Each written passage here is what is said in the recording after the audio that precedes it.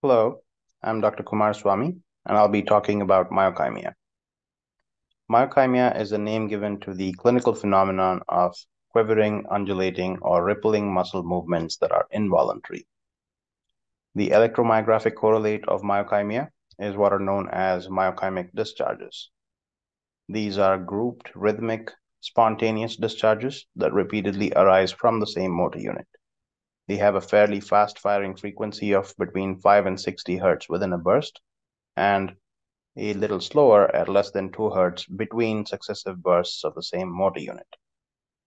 They're usually associated with other discharges that also arise from individual motor units, such as doublets, triplets, and repeated fasciculations, which in this case are called singlets. They are thought to originate from ephaptic transmission across demyelinated nerve membranes or from spontaneous depolarization of axons.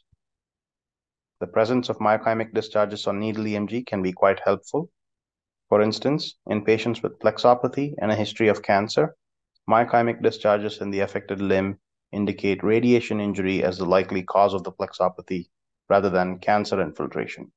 And this is a clinically important distinction but these discharges can also be seen in a variety of other conditions.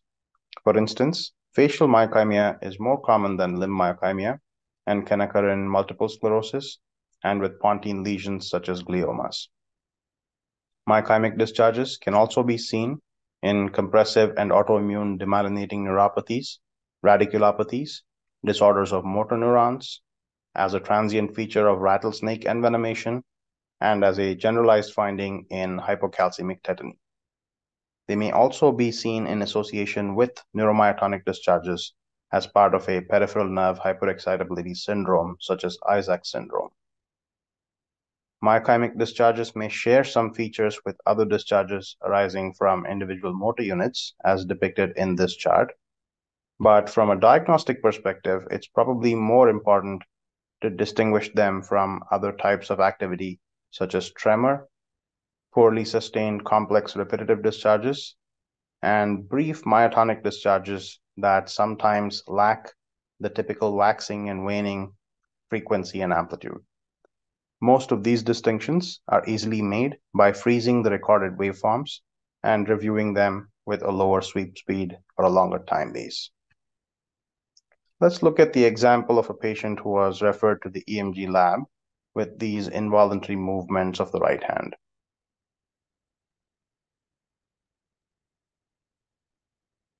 We see these repetitive, almost twitchy movements of the fingers and the more undulating type movements of the thenar and hypothenar eminence.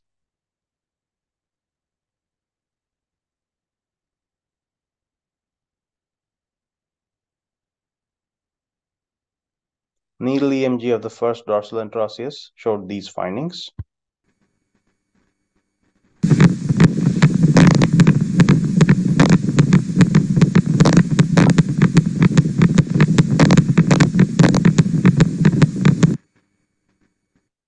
So that's the characteristic marching, bursting sound of myokymia.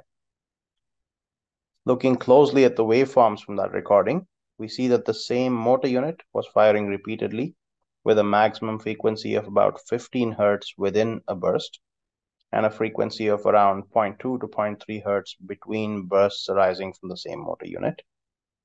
We also see these waveforms accompanying the myokymic discharges, again made up of the same motor unit firing twice here. So these are two doublets arising obviously from two different motor units. Here's another recording from her abductor digiti minimi muscle.